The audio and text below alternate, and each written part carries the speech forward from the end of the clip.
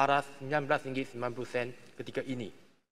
Memandangkan kit ini telah menjadi satu keperluan pada masa kini.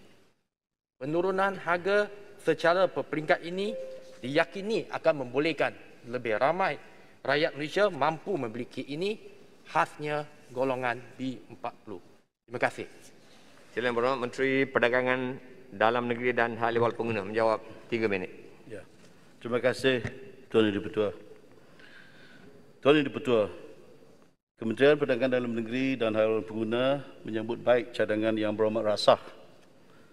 Dan untuk makluman yang berhormat, Kementerian memutuskan untuk menurunkan harga kit ujian pantas antigen COVID-19 ujian kendiri.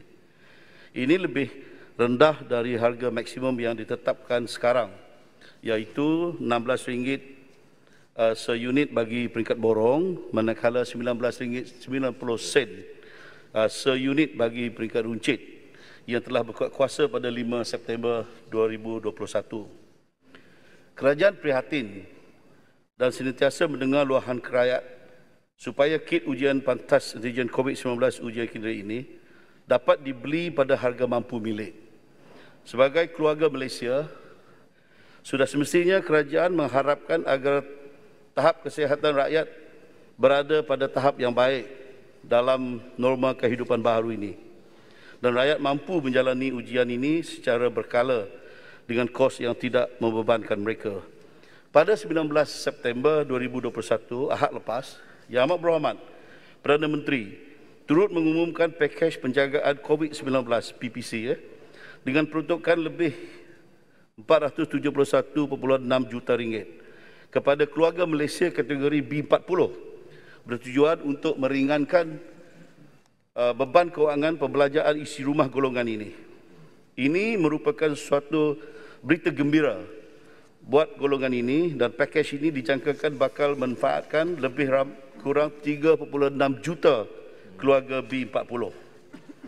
Hal yang berhormat, Keputusan untuk menurunkan harga kit ujian pantas antigen COVID-19 ujian kendiri ini haruslah dilaksanakan dengan penelitian dan tidak tergesa-gesa memandangkan kementerian perlu mengambil kira kepentingan semua pihak serta merumuskan pendekatan menang-menang ataupun dengan izin win-win situation eh, di mana dalam kita memberikan perlindungan kepada pengguna agar mereka senantiasa sehat dan bebas dari jangkitan COVID-19 Kementerian perlu juga mengambil kira sudut pandangan industri yang berkaitan agar mereka dapat meneruskan kelangsungan perniagaan mereka.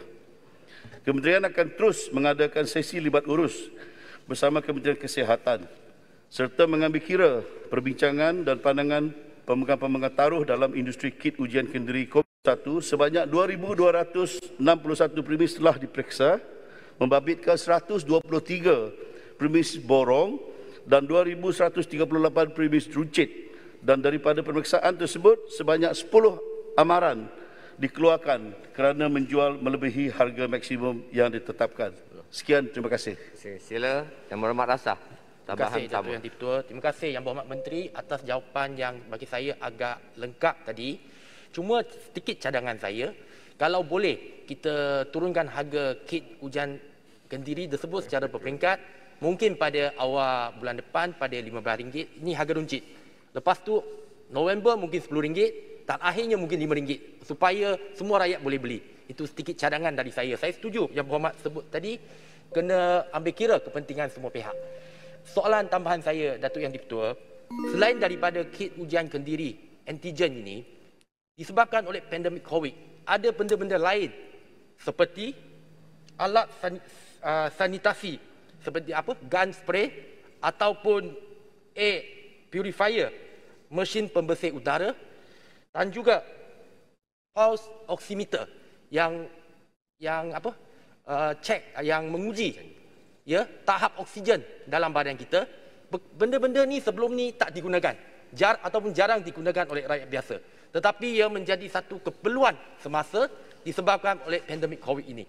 Jadi apakah pendirian apakah ke, kerajaan khasnya kementerian ini akan mengambil satu tindakan supaya harga siling ya perkara-perkara ini item ini akan di, dihadkan pada paras maksimum tertentu sebagaimana kit ujian kendiri ataupun pelitup muka yang telah dilakukan pada tahun lepas.